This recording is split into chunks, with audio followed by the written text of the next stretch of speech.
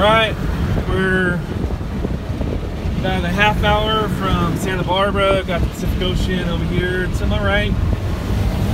Uh, a lot of trees, so it's hard to really take a peek into there. Before we lose the Pacific Ocean, though, I just wanted to. I don't know, man. I kind of miss it. I kind of miss the beach. So there we go. Nice little beach right there. Off the beach. Okay. Spent the night here at Motel 6 in my hometown of San Bernardino. Um, it's a little after 5 in the morning. I've got to get out of here by 11. Um, got in here at around 8 o'clock.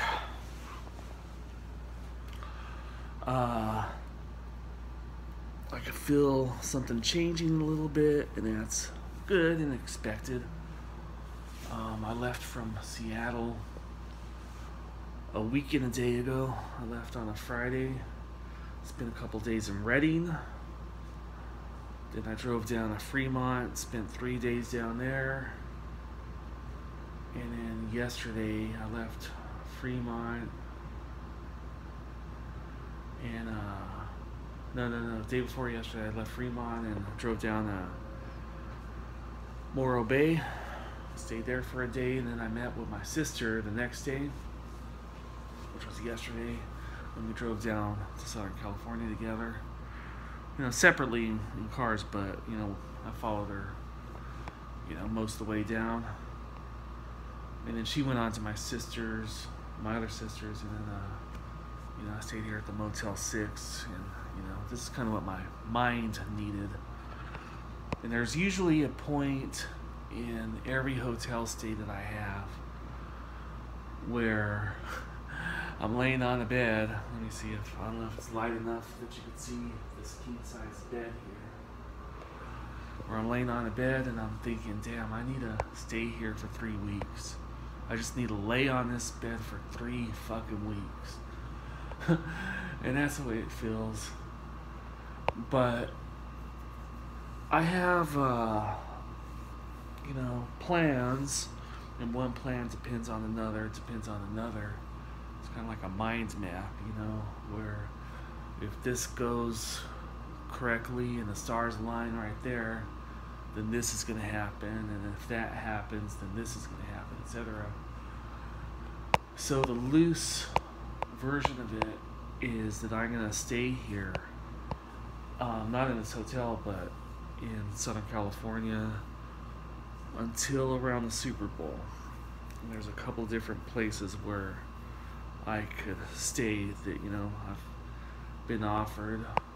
You know, I'm willing to pay rent and everything, but um, part of the contingency is that I get to work in a seasonal job and know, there's a lot of seasonal jobs around the holiday season. It's just the nature of uh, you know life out there.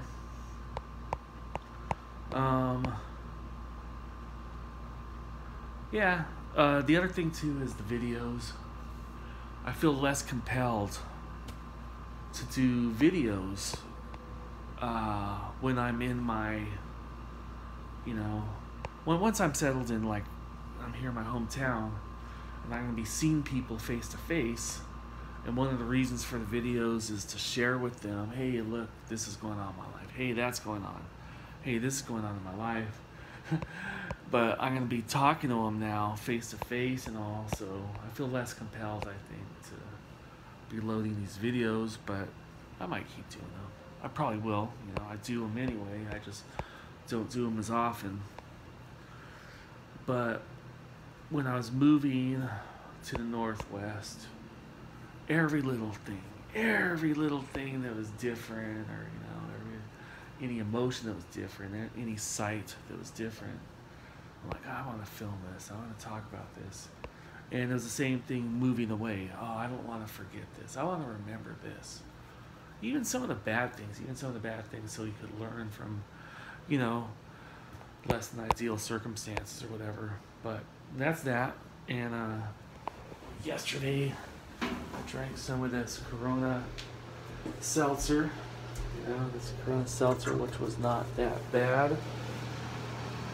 I had some uh, Modelo's. And uh, in the famous words of Jim Morrison, I woke up this morning and I got myself a beer. That's to do here. It's uh, a little more than 5 in the morning, but why not, why not have this right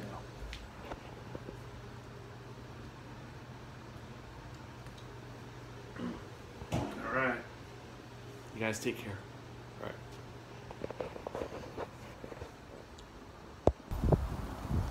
right. Okay, I just dropped off my hotel key. Um, that's where I stayed right there. And we're going to drive past the big tourist attraction here, which is three stacks and a rock. Coming from the seaside inn.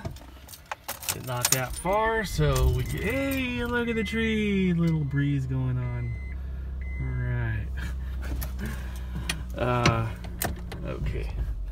So let me try to situate the camera just while I drive out and then figure something else out. Alright. Uh, this was a nice little stay. Even though, you know, I came, I got here a little bit later. There's a three stacks right there. Except for, you know, because the angle, it looks like one stack and there's the rock. Three stacks and a rock. It's 10 after 10 right now. So there's three stacks. Originally I wanted to walk down there, but you know how that goes. You know how that goes where, you know, it's like, okay, I'll be ready to roll by 9.30, but no, I'm ready to roll by 9.30, it's 10. So here's the giant three stacks. It's a natural gas plant that was built in 1950 by PG&E. Shut down six years ago. Decommissioned, or you know whatever it is they do.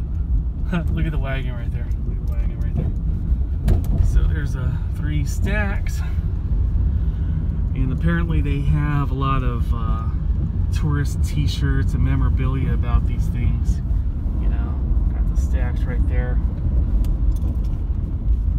And the rock.